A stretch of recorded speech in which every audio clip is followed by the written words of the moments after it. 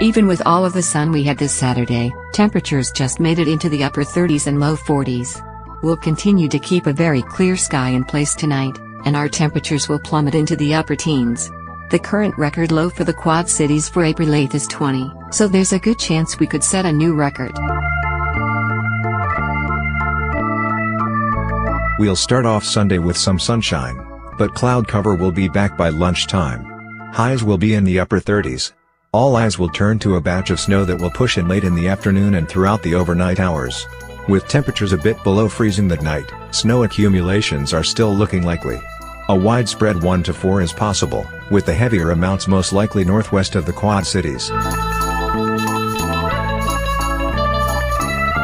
Any leftover snow by early Monday morning will transition to a light rain and snow mix.